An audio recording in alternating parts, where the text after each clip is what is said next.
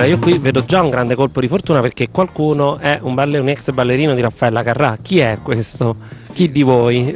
Io sono l'ex ballerino di Raffaella Carrà eh, che però mh, proprio tanta for- cioè, che ha avuto fortuna, però poi è caduto un po' in disgrazia, tant'è che nel film appunto è costretto a fare lezioni in un centro anziani di danza, un po' decaduto, appunto tra l'altro una famiglia con quattro figli, due adottati, due suoi, un po' di problemi economici.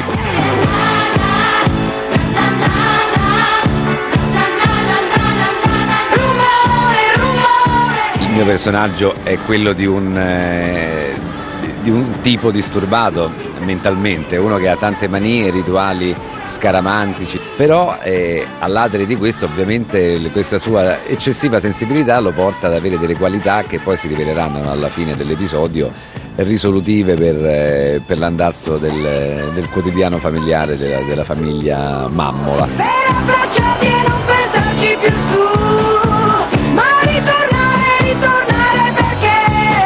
Vi incontrate con Raffaella Carrà da quello mi risulta, no? O no? Sì, ecco, e quello è un colpo di fortuna o no? Sì, non so se doveva essere una sorpresa, però ve lo, lo dico, non, lo sappiamo, non, non hanno detto niente. Può... No, io già, tra l'altro ho già girato con Raffaella Carrà, eh, sì, un grande colpo di fortuna perché è ass- assolutamente un mito assoluto. eh, poi tra l'altro una persona eh, con cui eh, si lavora bene, simpatica, divertente, ancora in gran forma, abbiamo ballato insieme. Eh, no, ba- cioè, balla proprio alla grande mentre io invece ho affannato. E se si attacca col sentimento portalo in fondo ad un cielo blu Le sue paure di quel momento le fai scoppiare soltanto tu Raffaella Carrà è presentissima film perché io dopo aver lavorato con lei mi è rimasto il mito per cui ho casa tappezzata con le sue immagini, ho la cover sul cellulare con la sua immagine, parlo sempre di lei, di quello che ho fatto con lei, capito? Per cui quando poi nel film, per un motivo che non vi sto a dire adesso, riesco ad incontrarla, per me è un finale fantastico.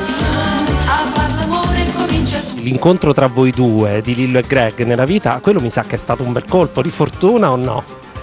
Quello è stato un colpo di fortuna incontrarci in una casa editrice di fumetti che poi è fallita, quindi il fallimento della, della- della casa editrice ci ha spronati a mettere su un gruppo musicale che- con cui abbiamo cominciato ad avere successo e il, che è l'arte dei derivati. E poi, e poi è proprio- è la cosa incredibile che veramente è un colpo di fortuna nato da un colpo di sfortuna, quindi, e quindi è pazzesco perché la sfortuna, perché noi stavamo lavorando attivamente per questa casa editrice, ci avevano commissionato a me, a lui, a Paolo Di Orazio, che poi diventò il batterista del gruppo, una rivista a fumetti con cui noi abbiamo lavorato, abbiamo pensato, poi la casa editrice è fallita e noi siamo andati a suonare un po' per disperazione anche per guadagnare quelle all'epoca 50.000 lire a testa, quindi da questo colpo di sfortuna eh, poi invece è nata, la è nata la nostra fortuna. È morto, invece sta a dormire È interessato a codesto punto vendita? Quella donna è un angelo. Da quando l'ho vista non riesco a pensare che a lei. Ma quelle piacciono solo i coatti. Lei deve trasformarmi da ambasciatore in perfetto coatto. Dal punto di vista nostro, De Laurentiis è stato il colpo di fortuna perché noi è stato l'unico produttore comunque a darci fiducia cinematograficamente, perché noi sì abbiamo fatto sì tanto teatro, tanta televisione,